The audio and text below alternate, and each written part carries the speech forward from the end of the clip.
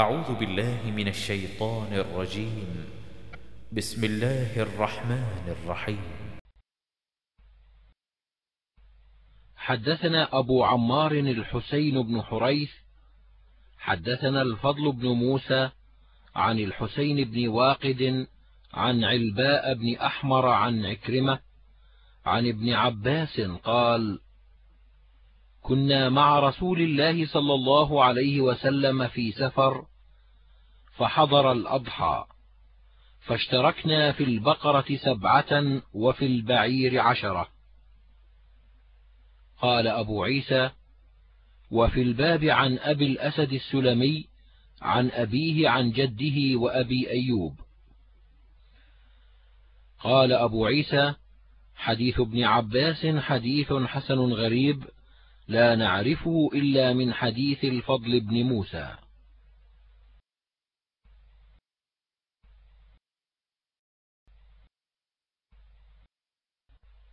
حدثنا قتيبة حدثنا مالك بن أنس عن أبي الزبير عن جابر قال نحرنا مع رسول الله صلى الله عليه وسلم بالحديبية البدنة عن سبعة والبقرة عن سبعة. قال أبو عيسى هذا حديث حسن صحيح والعمل على هذا عند أهل العلم من أصحاب النبي صلى الله عليه وسلم وغيرهم وهو قول سفيان الثوري وابن المبارك والشافعي وأحمد وإسحاق. وقال إسحاق يجزئ أيضا البعير عن عشرة واحتج بحديث ابن عباس.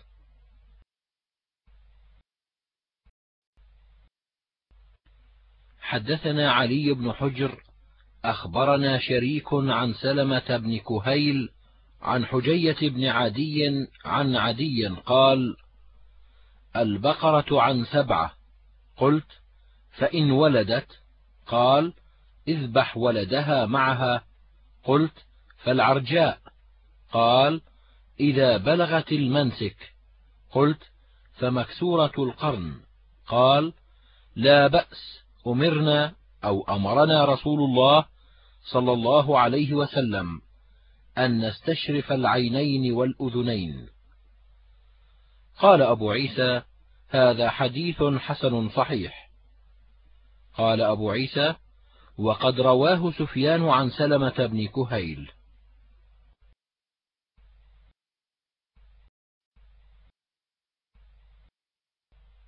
حدثنا هناد حدثنا عبدة عن سعيد عن قتادة عن جري بن كليب النهدي عن علي قال نهى رسول الله صلى الله عليه وسلم أن يضحى بأعضب القرن والأذن. قال قتادة فذكرت ذلك لسعيد بن المسيب فقال العضب ما بلغ النصف فما فوق ذلك. قال أبو عيسى هذا حديث حسن صحيح.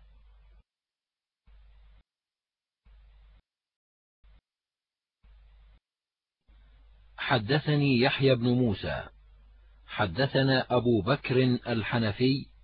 حدثنا الضحاك بن عثمان.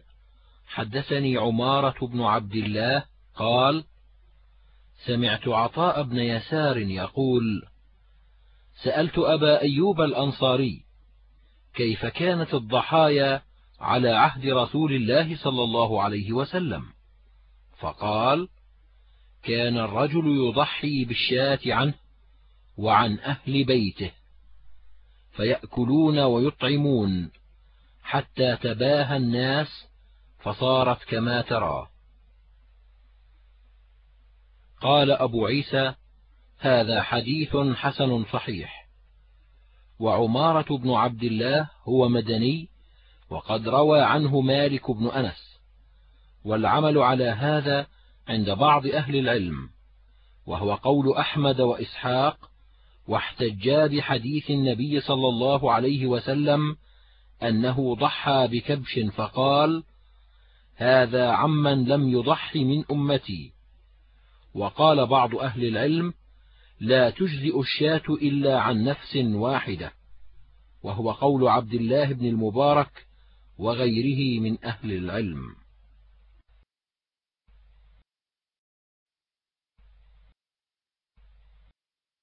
حدثنا أحمد بن منيع حدثنا هشيم أخبرنا حجاج بن أرطأة عن جبلة بن سحيم أن رجلا سأل ابن عمر عن الأضحية أواجبة هي؟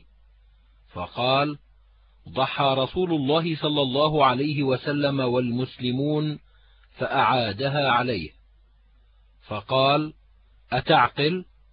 ضحى رسول الله صلى الله عليه وسلم والمسلمون.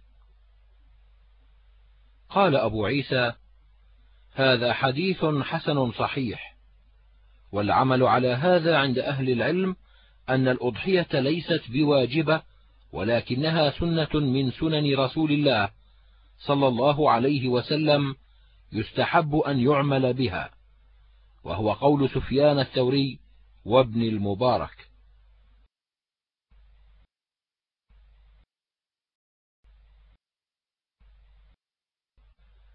حدثنا أحمد بن منيع وهناد قالا حدثنا ابن أبي زائدة عن حجاج بن أرطأة عن نافع عن ابن عمر قال أقام رسول الله صلى الله عليه وسلم بالمدينة عشر سنين يضحي.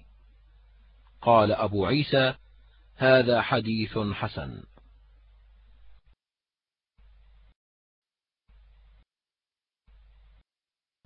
حدثنا علي بن حجر أخبرنا إسماعيل بن إبراهيم عن داود بن أبي هند عن الشعبي عن البراء بن عازب قال خطبنا رسول الله صلى الله عليه وسلم في يوم نحر فقال لا يذبحن أحدكم حتى يصلي.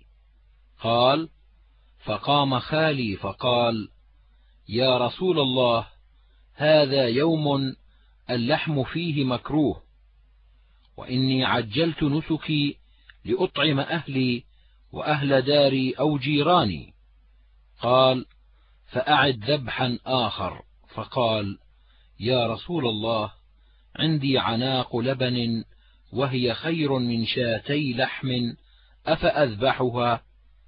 قال نعم وهي خير نسيكتيك ولا تجزئ جذعة بعدك. قال وفي الباب عن جابر وجندب وأنس وعويمر بن أشعر وابن عمر وأبي زيد الأنصاري. قال أبو عيسى هذا حديث حسن صحيح والعمل على هذا عند أكثر أهل العلم أن لا يضحى بالمصر حتى يصلي الإمام. وقد رخص قوم من أهل العلم لأهل القرى في الذبح إذا طلع الفجر وهو قول ابن المبارك. قال أبو عيسى وقد أجمع أهل العلم أن لا يجزئ الجذع من المعز وقالوا إنما يجزئ الجذع من الضأن.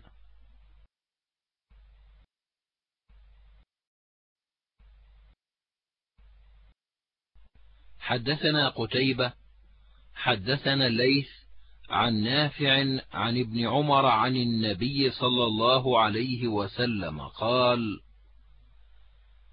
لا يأكل أحدكم من لحم أضحيته فوق ثلاثة أيام قال وفي الباب عن عائشة وأنس قال أبو عيسى حديث ابن عمر حديث حسن صحيح وإنما كان النهي من النبي صلى الله عليه وسلم متقدما ثم رخص بعد ذلك.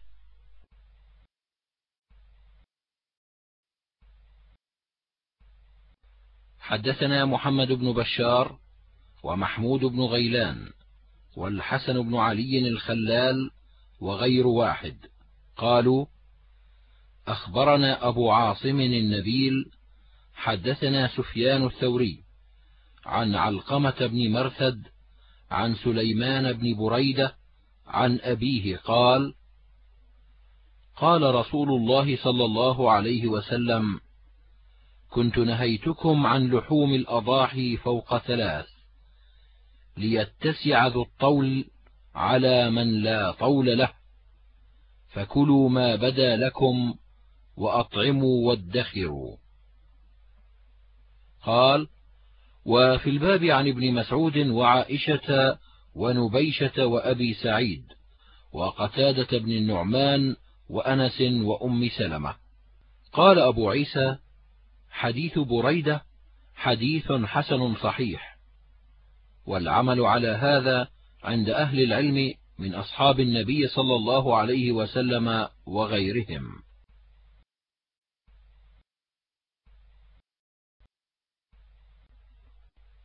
حدثنا قتيبة حدثنا أبو الأحوص عن أبي إسحاق عن عابس بن ربيعة قال قلت لأم المؤمنين أكان رسول الله صلى الله عليه وسلم ينهى عن لحوم الأضاحي؟ قالت لا ولكن قل من كان يضحي من الناس فأحب أن يطعم من لم يكن يضحي. ولقد كنا نرفع الكراع فنأكله بعد عشرة أيام. قال أبو عيسى هذا حديث حسن صحيح. وأم المؤمنين هي عائشة زوج النبي صلى الله عليه وسلم. وقد روي عنها هذا الحديث من غير وجه.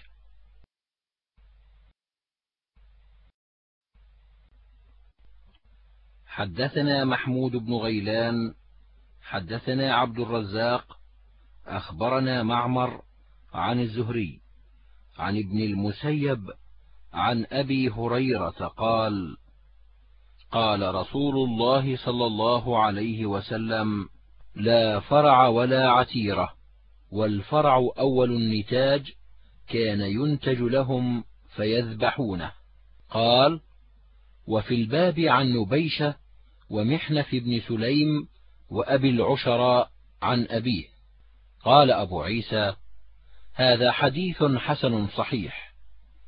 والعتيرة ذبيحة كانوا يذبحونها في رجب يعظمون شهر رجب لأنه أول شهر من أشهر الحرم.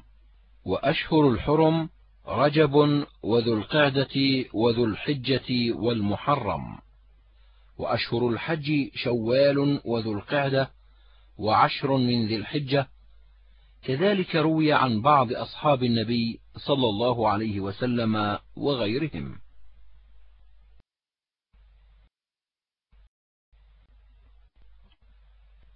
حدثنا يحيى بن خلف البصري حدثنا بشر بن المفضل أخبرنا عبد الله بن عثمان بن خثيم عن يوسف بن ماهك أنهما دخلوا على حفصة بنت عبد الرحمن فسألوها عن العقيقة فأخبرتهم أن عائشة أخبرتها أن رسول الله صلى الله عليه وسلم أمرهم عن الغلام شاتان مكافئتان وعن الجارية شاة.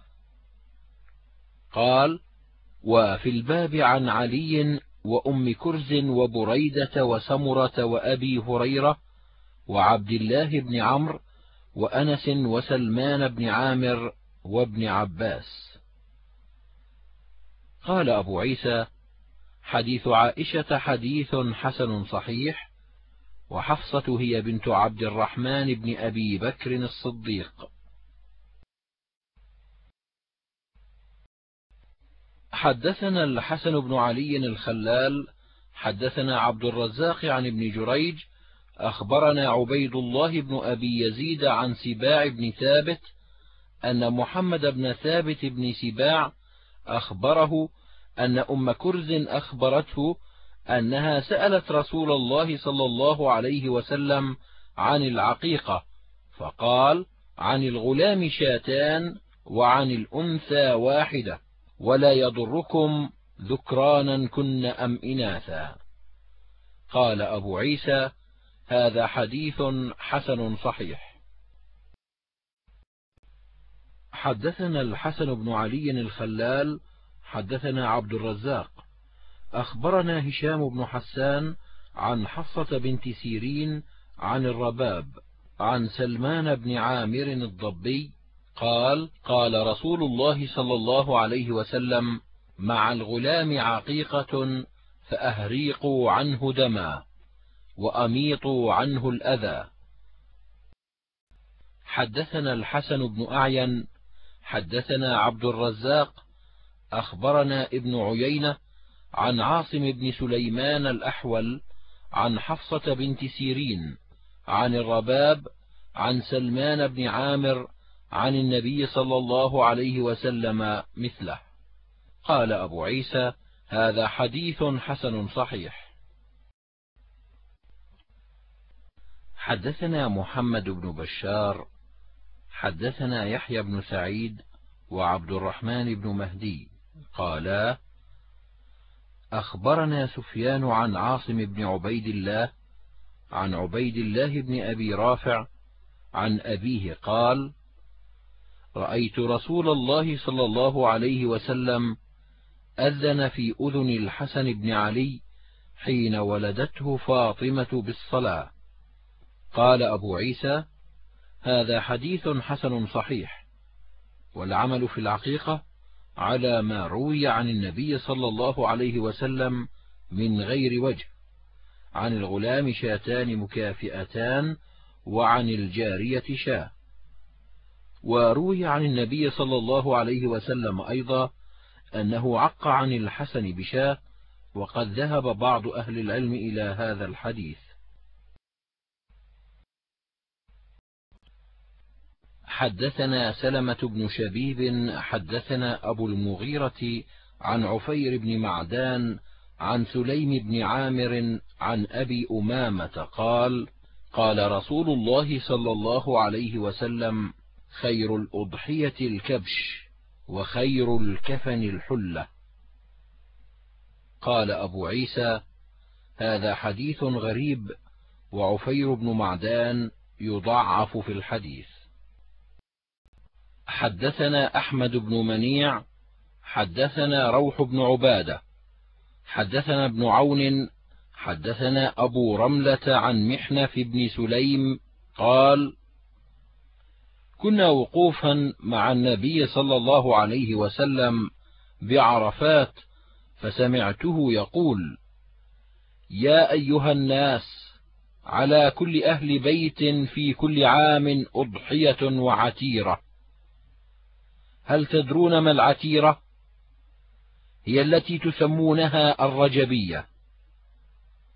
قال أبو عيسى هذا حديث حسن غريب ولا نعرف هذا الحديث إلا من هذا الوجه من حديث ابن عون.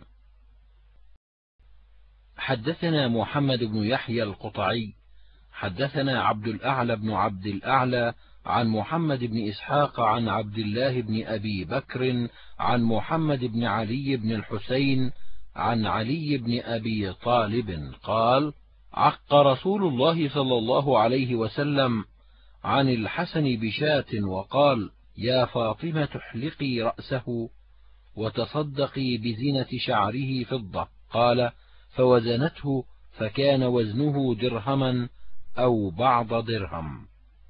قال أبو عيسى هذا حديث حسن غريب وإسناده ليس بمتصل وأبو جعفر محمد بن علي بن الحسين لم يدرك علي بن أبي طالب.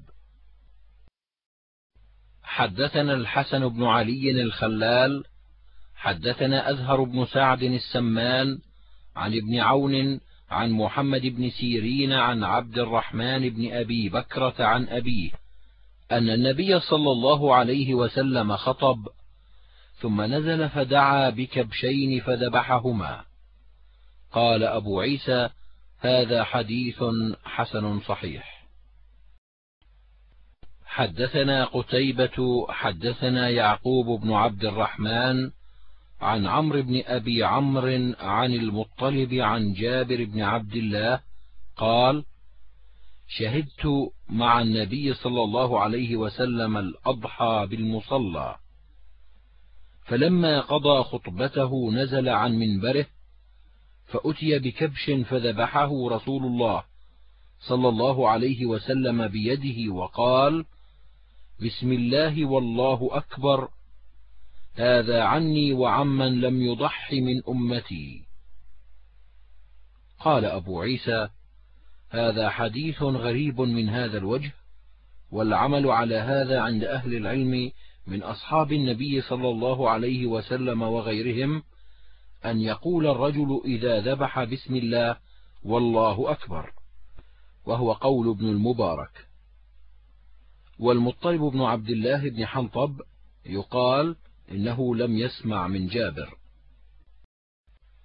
حدثنا علي بن حجر أخبرنا علي بن مسهر عن إسماعيل بن مسلم عن الحسن عن سمرة قال قال رسول الله صلى الله عليه وسلم الغلام مرتهن بعقيقته يذبح عنه يوم السابع ويسمى ويحلق رأسه.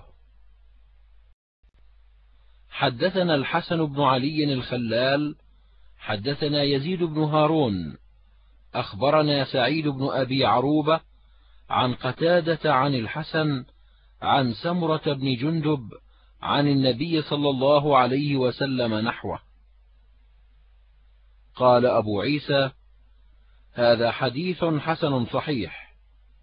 والعمل على هذا عند أهل العلم يستحبون أن يذبح عن الغلام العقيقة يوم السابع فإن لم يتهيأ يوم السابع فيوم الرابع عشر فإن لم يتهيأ عق عنه يوم حاد وعشرين. وقالوا لا يجزئ في العقيقة من الشاة إلا ما يجزئ في الأضحية. حدثنا أحمد بن الحكم البصري حدثنا محمد بن جعفر عن شعبة عن مالك بن أنس عن عمرو أو عمر بن مسلم عن سعيد بن المسيب عن أم سلمة عن النبي صلى الله عليه وسلم قال: من رأى هلال ذي الحجة وأراد أن يضحي فلا يأخذن من شعره ولا من أظفاره. قال أبو عيسى: هذا حديث حسن صحيح، والصحيح هو عمرو بن مسلم قد روى عنه محمد بن عمرو بن علقمة وغير واحد. وقد روي هذا الحديث عن سعيد بن المسيب عن أبي سلمة عن النبي صلى الله عليه وسلم من غير هذا الوجه نحو هذا وهو قول بعض أهل العلم وبه كان يقول سعيد بن المسيب وإلى هذا الحديث ذهب أحمد وإسحاق ورخص بعض أهل العلم في ذلك فقالوا لا بأس أن يأخذ من شعره وأظفاره وهو قول الشافعي واحتج بحديث عائشة أن النبي صلى الله عليه وسلم كان يبعث بالهدي من المدينة فلا يجتنب شيئا مما يجتنب منه المحرم.